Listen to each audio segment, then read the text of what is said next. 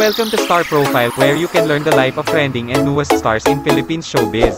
If you are new to this channel, please don't forget to like and subscribe. And name, age, and height, please.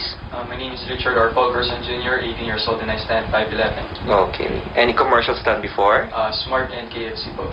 Okay, smile lang. Face to your right, please. Look here and smile. Other side. And then look here and smile. Kilalanin natin ang isa sa pinaka-in-demand at bankable actor ng kanyang henerasyon. Siya ang binansagang Asia's multimedia star na si Richard Reyes Fulkerson Jr. o mas kilala sa kanyang screen name na Alden Richards. Siya ay ipinanganak noong January 2, 1992 sa Quezon City at lumaki sa Golden City Subdivision sa Santa Rosa, Laguna. Si Alden ay nagmula sa simpleng pamilya. Siya ang pangalawa sa panganay na anak ni na Richard Peralta Fulkerson Sr. na tubong Ermita Manila at Rosario Reyes na tubong Pampanga na maagang pumanaw noong 2008 dahil sa sakit na chronic pneumonia. Siya ay may isang nakatatandang kapatid na lalaki na si Richard Daniel at dalawang mas nakababatang kapatid na babae na sina Riza at Angel. Ang kanyang kasalukuyang edad ay 29-year-old. Nationality Filipino with American descent. Height, 5'11". Education. Siya ay nag-aral ng elementarya sa Mary Help of Christian School sa kanilang subdivision sa Golden City sa Santa Rosa, Laguna at nag-first year high school naman sa Paco Catholic School sa Maynila. Ipinagpatuloy niya ang second year hanggang makatapos ng high school noong 2009 sa Colegio de Santa Rosa de Lima High School sa Laguna. Nakapag-aral siya hanggang second year college ng kursong Business Management sa De La Salle Canlubang sa Laguna, ngunit kinailangan niyang huminto nang nagsimula na siya sa showbiz noong 2011. Occupation Siya ay isang Pilipinong aktor, television host, modelo ng komersyal, mga awit at entrepreneur. Si Alden ay unang nakilala sa showbiz sa kanyang mga di matatawarang pagganap sa telebisyon at pelikula. Ang ilan sa mga ito ay ang kanyang mahusay na pagganap bilang ang pambansang bayani ng Pilipinas na si Gat Jose Rizal sa Ilustrado noong 2014 at sa naging highest grossing Filipino film of all time na Hello Love Goodbye noong 2019. Nakilala din siya bilang other half ng phenomenal love team na Aldab sa Itbulaga, katambal ni Yaya Dub na si Maine Mendoza. Alleged Network hindi maitatangging isa si Alden sa pinakasikat at pinakamahusay na aktor sa industriya ng showbiz. Sa ngayon nga ay halos isang dekada na siyang aktibo sa industriya. Bukod sa kabi-kabila niya mga palabas sa telebisyon at pelikula ay maituturing na isa siya sa pinaka-in-demand na endorser at bankable actor sa Pilipinas. Naging endorser na siya ng mga pinakasikat na brand ng iba't ibang produkto sa Pilipinas, mula sa mga produktong pagkain, pampaganda, serbisyo, inumin, clothing brands, fast food chains at maging mga sikat na online shopping app sa bansa. Nakapag-release din siya ng anim na solo, soundtrack at compilation albums at walong music singles under ng GMA Music at Universal Records. Bukod pa dito ang kinita niya sa music videos, concert tours at digital concerts. Nag-venture din siya sa mga business tulad sa dalawang branch ng Concha's Garden Cafe, sa Tagaytay at sa Quezon City at nag-franchise din siya ng sikat na fast food chain na McDonald's sa Binyan Highway sa Laguna. Naging isa din siyang highest paid online gamer ng sikat na online game na Mobile Legends sa Pilipinas at paid endorser ng iba't ibang produkto sa kanyang mga social media account tulad sa kanyang Instagram na may 3.7 million followers at sa kanyang official Facebook account na may mahigit ng 4.3 million followers. Nakapagpatayo na rin siya ng malaking bahay sa isang eksklusibong subdivision sa Laguna at nagmamay-ari at nangongolekta ng ilang mga mamahaling sasakyan tulad ng GMC Savannah, Toyota Land Cruiser, Range Rover Sport, Jaguar XE, Mercedes-Benz, XADV, KTM Duke at Mitsubishi Pajero. Ayon sa networkspot.com sa kasalukuyan si Alden ay mayroong mahigit kumulang na 500 million ta 800 million pesos na net worth.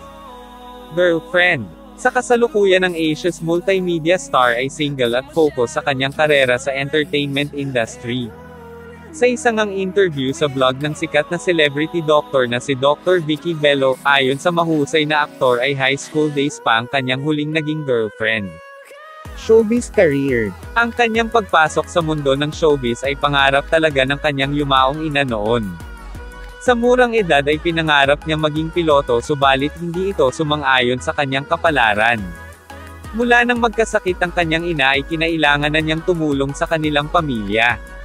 Nagsimula siya sa mga pagsali-sali noon sa mga male pageant tulad sa kanyang pagkapanalo bilang Ginoong Santa Rosa noong 2009 at sa Ginoong Laguna noong 2010. Habang nag-aaral ay isinisingit din niya ang pagpo-part-time model sa mga malls at fashion events sa edad na 17. Matatanda ang nag-audition din siya at hindi pinalad na makapasok sa mga sikat na artista search sa telebisyon tulad sa Pinoy Big Brother Teen Clash Edition noong 2010 sa ABS-CBN at sa Starstruck Season 5 sa GMA Network kung saan umabot lamang siya hanggang top 60. Makalipas ang isang taon ay halos panghinaan na siya ng loob dahil sa mga sunod-sunod na rejection sa showbiz. Sa huling pagkakataon ay sinuwerte naman siyang matawagan ng GMA Network para sa afternoon fantasy series na Alakdanak kung saan una siyang itinambal sa papasibol pa lamang na aktres noon na si Luis de los Reyes. Ang kanilang tambalang tinawag na Denlo ay agad namang pumatak at tinangkilik ng mga manunood at dito na nagsimulang umangat ang kanyang karera at unti-unting nakilala sa showbiz industry. Nasundan pa ito sa kanyang mga pagganap sa iba't iba pang teleserye sa Kapuso Network tulad sa teen-oriented series na Twin Hearts ng kaparehong taon, sa kanyang supporting role sa My Beloved at sa muli nilang pagbida ni Luis de los Reyes sa One True Love kung saan nakilala siya bilang si Tisoy noong 2012. Nakasama din siya sa Indio ni Senator Bong Revilla at sa drama series na Mundo Mo'y Akin noong 2013.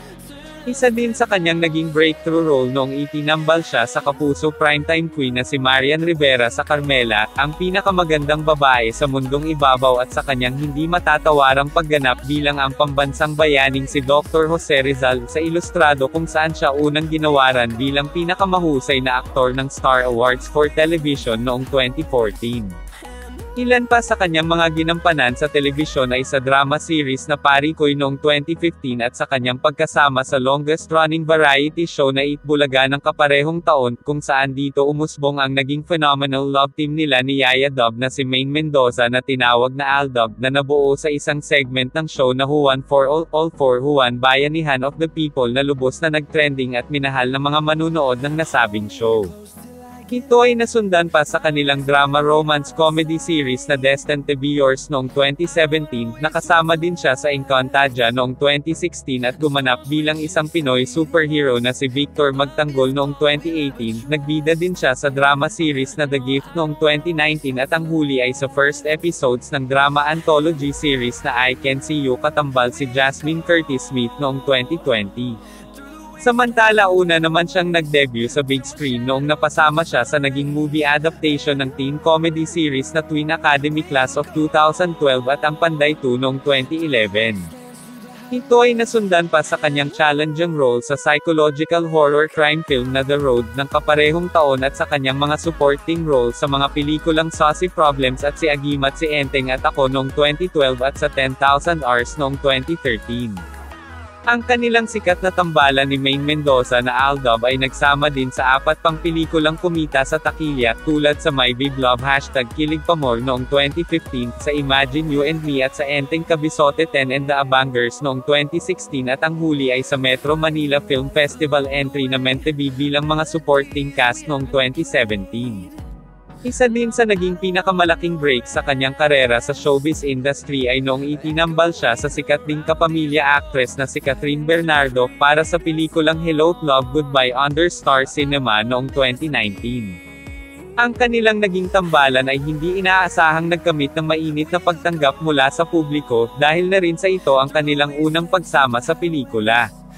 Gayon pa man ang kanilang pelikula ang bumasag sa record ng highest-grossing Filipino films of all time, na kumita ng halos 880 million pesos sa takilya worldwide, na hanggang ngayon ay nangungunang pelikula sa box office hit records at nakatanggap din ng mga pagkilala sa Pilipinas at maging sa international award-giving bodies, tulad sa pag-feature rito ng Golden Globe Awards website noong 2019.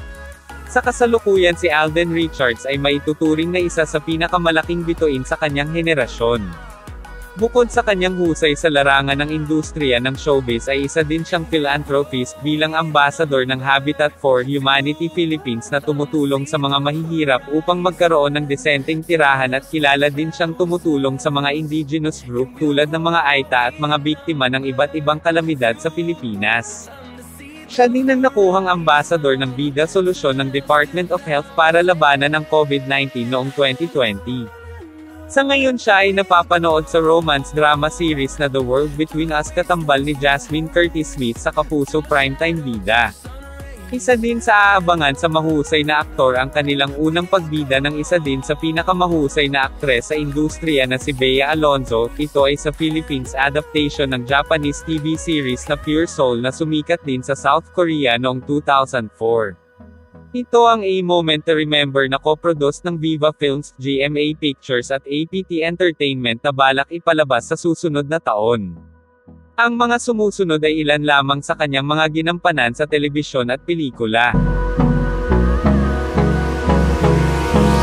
Hold me close till I get up. Time is barely on our side. I don't wanna waste what's left. Totoo na yung I love you.